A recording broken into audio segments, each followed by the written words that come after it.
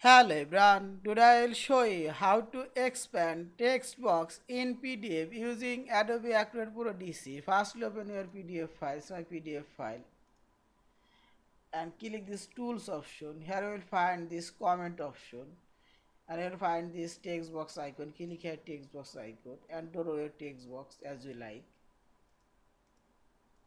and select your text box here and increase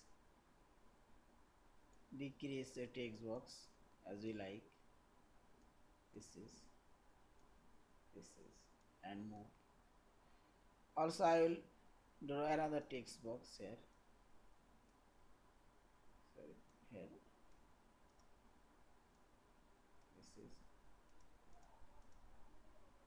and increase decrease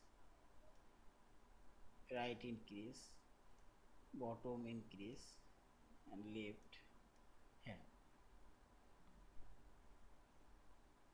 I'll insert another text box.